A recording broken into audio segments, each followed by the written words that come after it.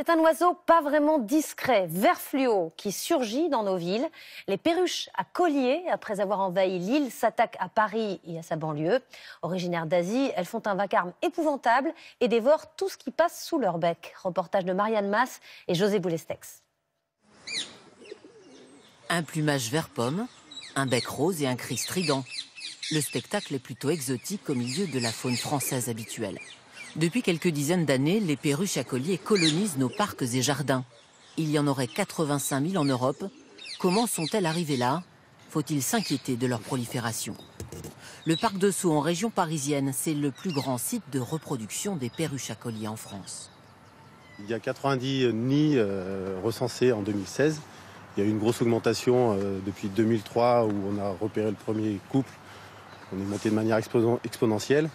Et 2015-2016, ça s'est stabilisé autour de 80-90 couples.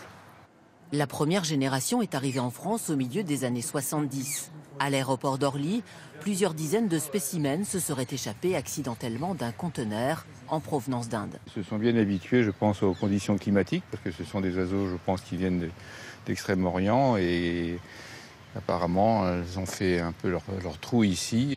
Mais les perruches à collier commencent à faire des dégâts le potager du Jardin du Roi à Versailles est devenu un de leurs gardes-manger favoris. Antoine Jacobson surveille la floraison de ces 4500 fruitiers. On va les regarder pour les bourgeons euh, sur les pruniers. L'an dernier, sa récolte a été catastrophique. On voit déjà des choses qui, qui les intéressent. Les perruches à collier s'attaquent aux bourgeons, aux fruits et cassent les branches.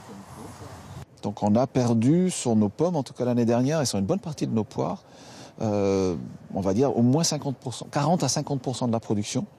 Sur nos prunes, on a même perdu plus que 50%. On a dû arriver à 60-70% de notre production de prunes.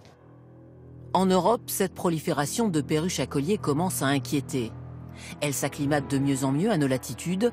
Il y en aurait 10 000 en France, 50 000 en Angleterre, 15 000 aux Pays-Bas.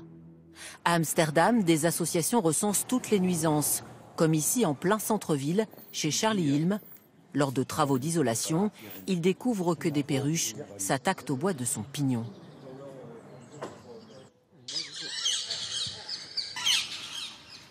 Je pense que c'était pour creuser des nids.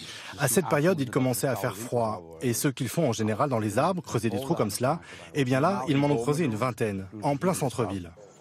À l'origine du problème, un magnifique prunus qui agit sur les perruches comme un aimant. Il est obligé de le faire abattre la facture se monte à plus de 5000 euros. Pas moyen d'obtenir de l'aide des autorités. La perruche à collier n'est absolument pas un sujet de préoccupation pour les autorités. Elle s'occupe d'autres espèces exotiques qui sont classées sur une liste d'espèces nuisibles au niveau européen, mais hélas, la perruche à collier n'en fait pas partie. Donc il ne se passe rien. Aujourd'hui, la réglementation varie selon les pays. En Angleterre, une licence permet aux chasseurs de les tuer dans les jardins où elles causent des dégâts. L'Espagne a interdit la vente et la détention de ces perruches. En France, pour le moment, aucune étude n'a prouvé que sa prolifération se faisait au détriment d'autres espèces.